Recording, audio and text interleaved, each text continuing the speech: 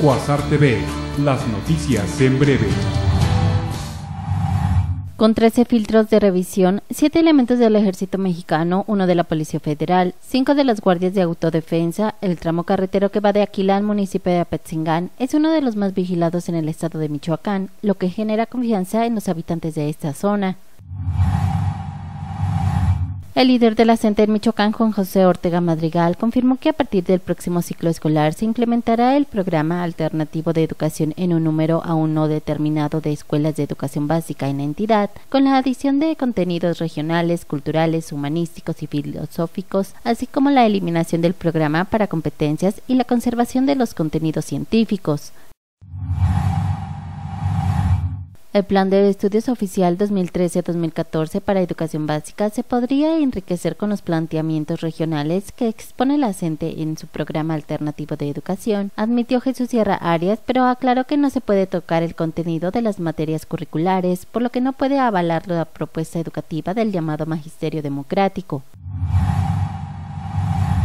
El secretario de Educación en Michoacán, Jesús Sierra, planteó que la libertad de cátedra que goza el magisterial michoacano permite que utilicen o no libros de textos gratuitos de la Secretaría de Educación Pública, pero considero como un contrasentido que la gente diga defender la economía popular cuando hará gastar a las madres de familia con el nuevo material que prevé el programa alternativo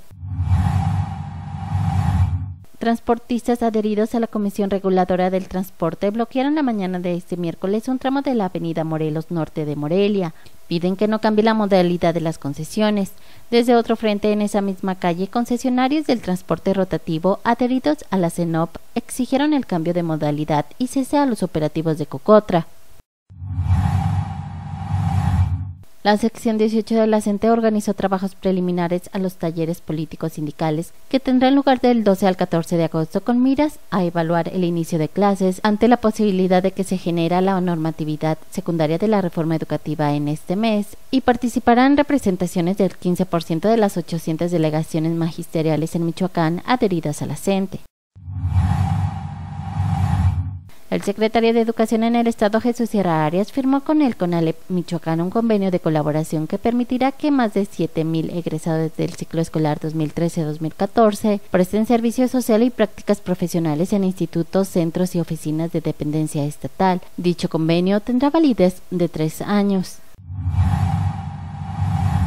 El Servicio Meteorológico Nacional informa que se mantiene un canal de baja presión sobre el noroeste, el occidente y el centro del país, donde favorece nublados con lluvias de moderadas a fuertes. Para este martes 7 de agosto en Morelia, Michoacán, pronostica temperaturas mínimas de 13 grados centígrados y máximas de 26 grados, con bajas probabilidades de lluvia por la tarde-noche.